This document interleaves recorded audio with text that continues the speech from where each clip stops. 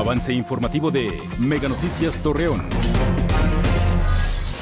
Invitan a la ciudadanía a no tirar más basura en las calles. Los detalles en punto de las 8.58 de la noche por Mega Noticias. Vecinos de algunas colonias de Gómez Palacio, como Ampliación San Antonio, reportan plaga de ranas. Los detalles dos minutos antes de las 9 de la noche por Mega Noticias.